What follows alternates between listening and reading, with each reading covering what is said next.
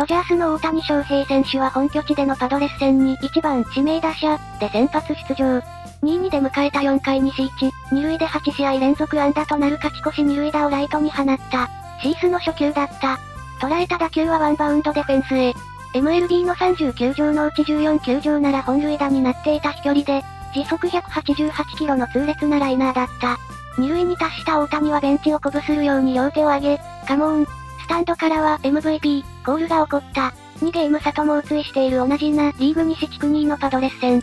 両チームともプレーオフ進出は決めており、優勝のプライドをかけた戦いだった。大谷さんの貴重な勝ち越しタイムリー。前打席でまさかのど真ん中の159組フォーシームが来るとは思わず見逃し三振したから、悔しかったんでしょう。ロハスはその時に足を痛めたか。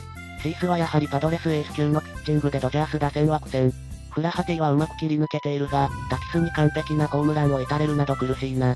で、こっちにようやく来た流れを初球凡打でバチッと切ってしまうベッツその裏すぐ同点。で、パドレスはしっかりきっちり3人でシャットアウトってね。これで96長打395塁打。400塁打は目前、100長打もホームラン2本も打って55-55と共に決めてほしい。